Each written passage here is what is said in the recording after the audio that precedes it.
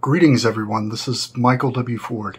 Today I'm going to discuss and briefly explain what the Qliphoth is within Kabbalah and how it uh, is connected to Luciferian magic, initiation, and the left-hand path in general.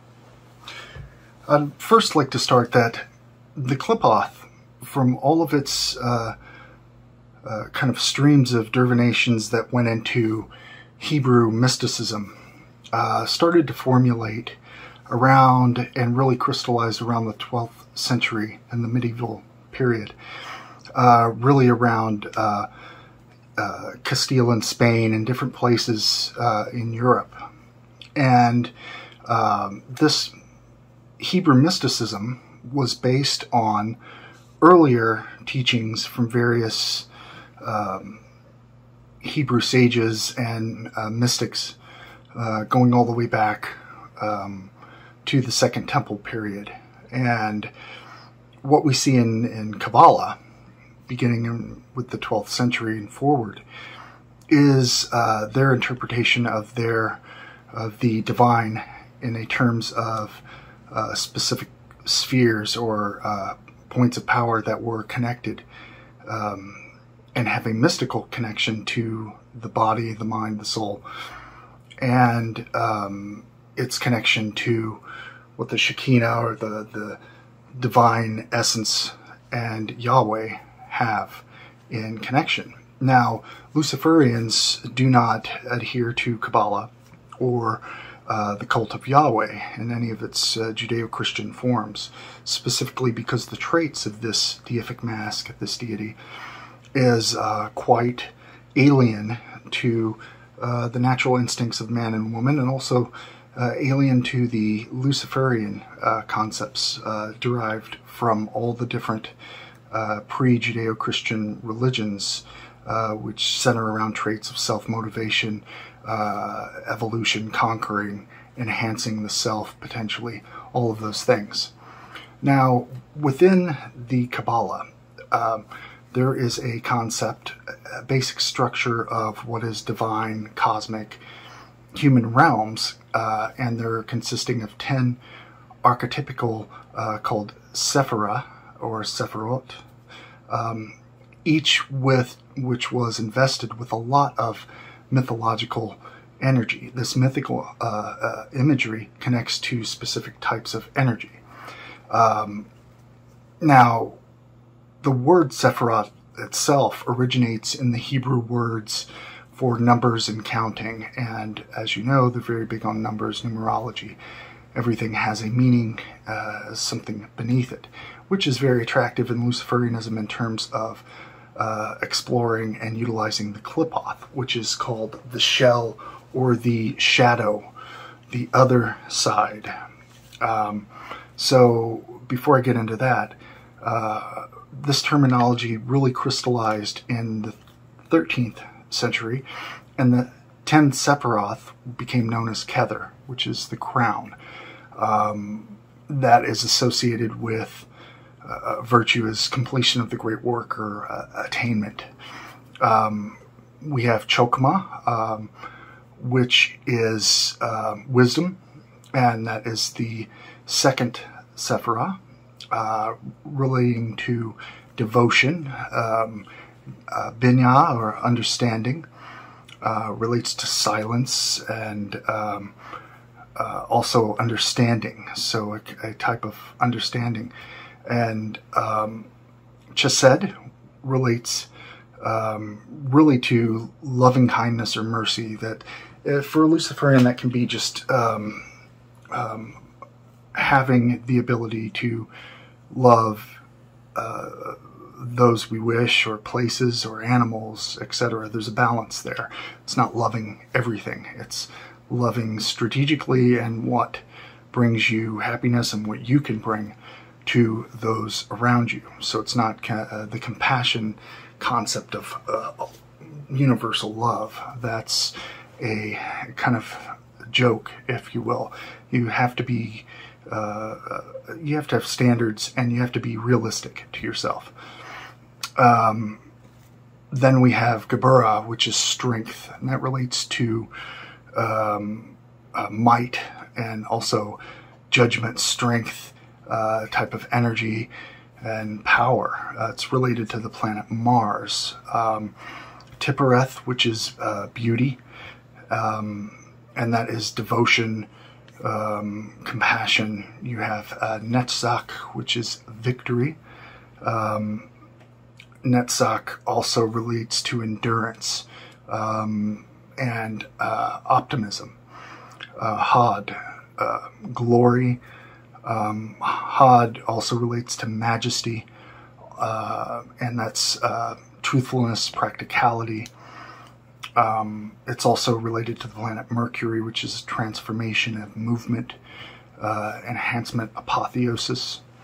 You have Yesod, the foundation, uh, relating to the planet of the moon. Now, uh, Yesod means as foundation, um, a manifestation of the lunar currents relating to Lilith, uh, specifically in this aspect, not in totality, but Lilith is one half of the adversary of Samael or Samael. Um, so Yesod, the foundation, relates to a, a virtue of independence development. Um, and then you have Malkuth, which is the kingdom, uh, royalty or kingdom.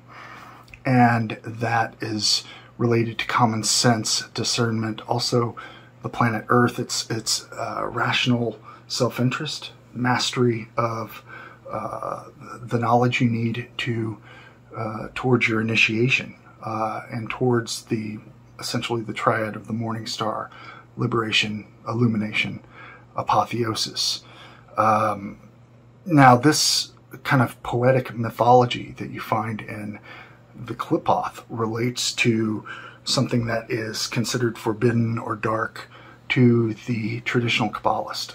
Uh, in my work with the Qliphoth, uh, it, the other side, essentially, uh, relating from the word Sitra Ahra, which means left side, relates to the shadow, the abode of chaos, uh, which has expressions in our subconscious, and we can connect to from uh, the other, which is the anti-cosmic uh, abyss, that from which surrounds the cosmos itself.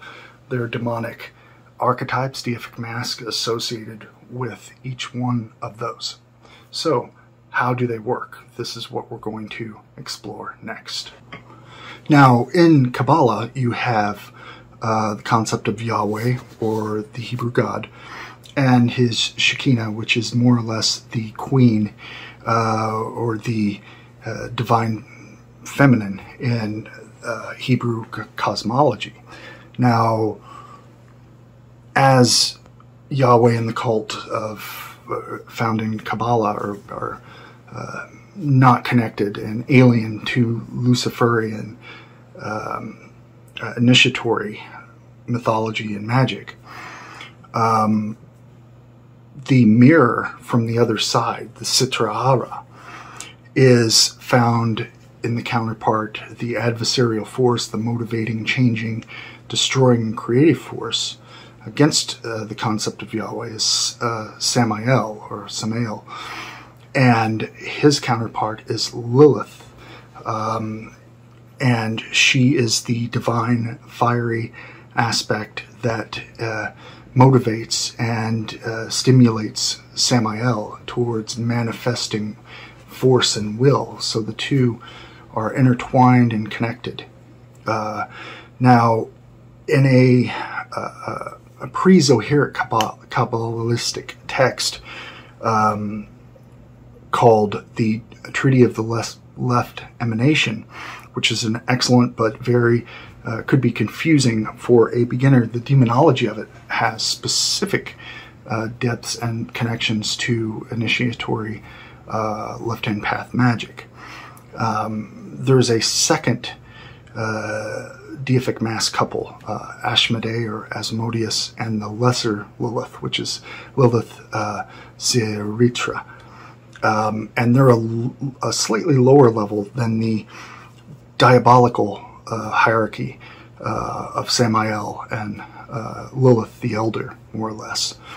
Um, understanding this and finding this uh, such in like Ashmedai or Asmodeus as the king of demons in the Talmud uh, has a specific importance concerning uh, left-hand path magical approach.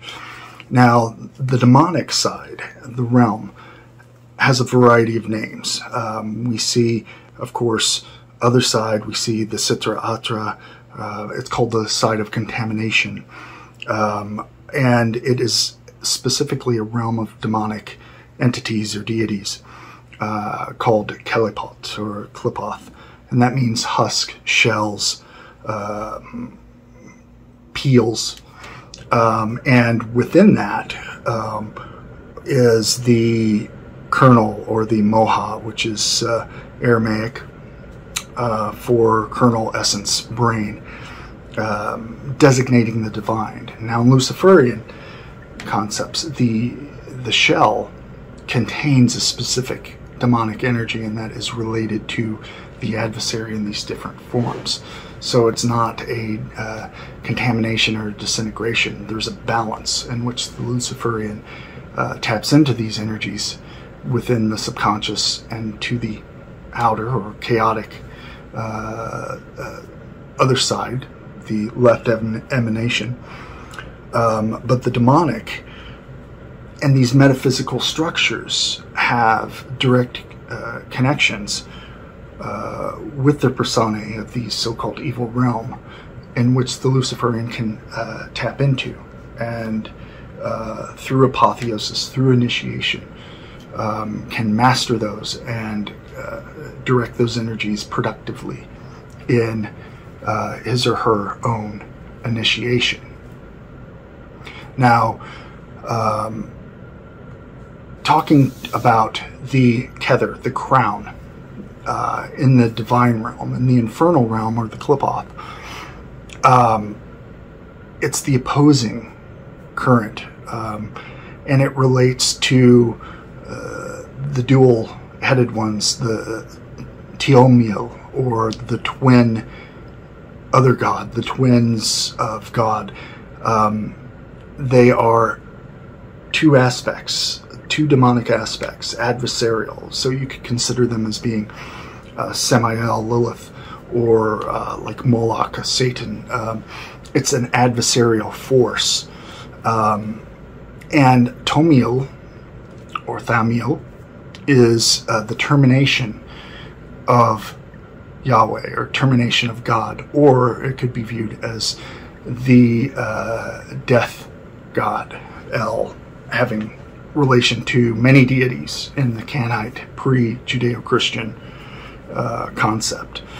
Um, these specific demonic energies relate to self mastery and uh, transcendence um, and awareness of internal change and evolution through time, through experience, insight, etc.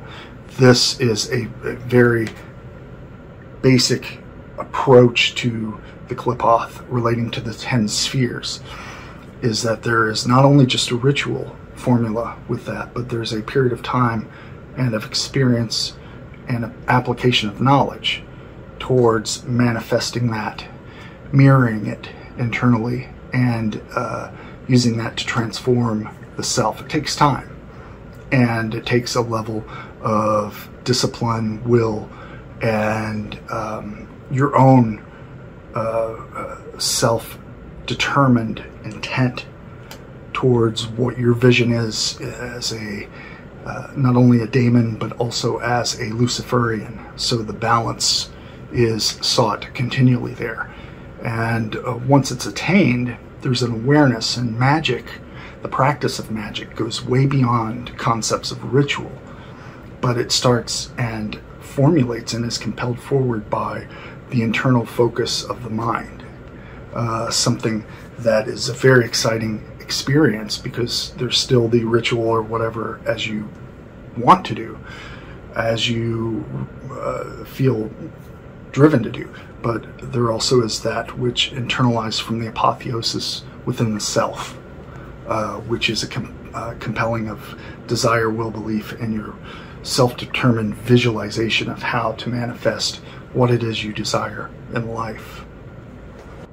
Now, in the other side, in the demonic uh, Sitra Ahra, the, the mirror of the Qliphoth, the ten Sephiroth, um, understand that there are, are layers of symbolism.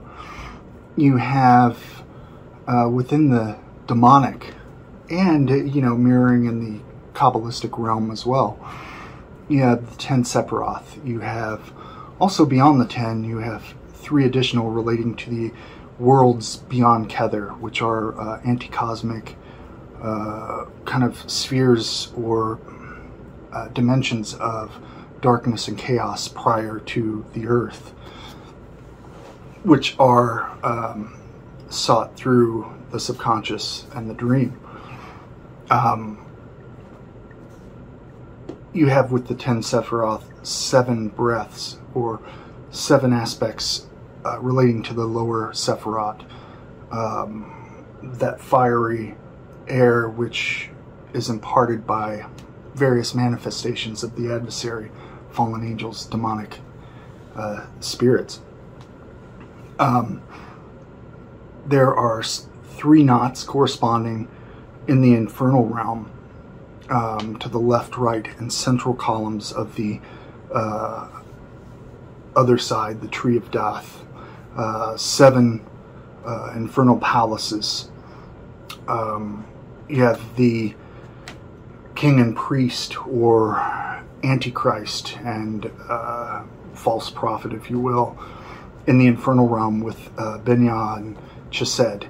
Um, and in that, to understand the Qliphoth and those shells and with Lilith are made, are created in Kabbalism from uh, first the shadow of El, or the divine, uh, from the primal darkness, but they are created and connected with individual humans and their uh, so-called uh, sins or lusts, desires, etc., which are considered uh, antithetical to Judeo-Christian morality and religion.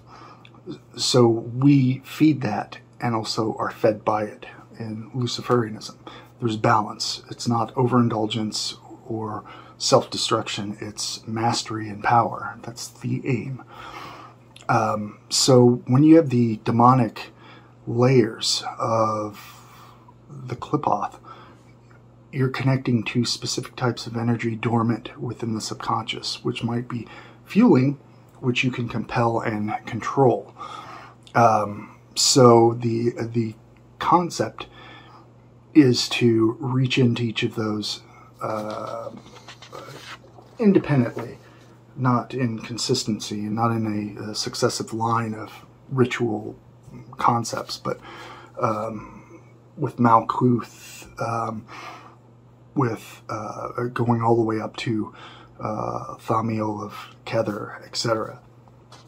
So understanding those, uh, especially within the terms of Lilith as the fiery, uh, Shekinah, the motivating uh, goddess of darkness, of that fiery spirit which invigorates Samael, which creates that inner alchemy of infernal union, Lilith, Samael, Leviathan, begetting Baphomet, Chioa, the beast, uh, which is an, uh, a kind of shell uh, relating to the symbolism of the Black Adept, the Luciferian, the individual.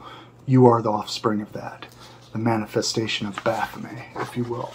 And that's all up to the individual and their course in life. So, with that said, I hope this uh, presents a basic foundation of what the Tree of Death or the Qliphoth is. I'm not going to get into opening each one, exploring those, but I wanted you to understand that uh, in works such as Bible the Adversary, Dragon of the Two Flames, Scales of the Black Serpent, uh, also Thomas Karlsson's book on uh, the Qliphoth, um, are excellent terms for exploring what that is uh, in general. Um, and in the future, I'll have uh, deeper ex exploration videos on the Qliphoth and how it's used in anti-cosmic and Luciferian types of magic. Thank you. Please subscribe, like, and spread this video, and I will have more soon. Balama Araman.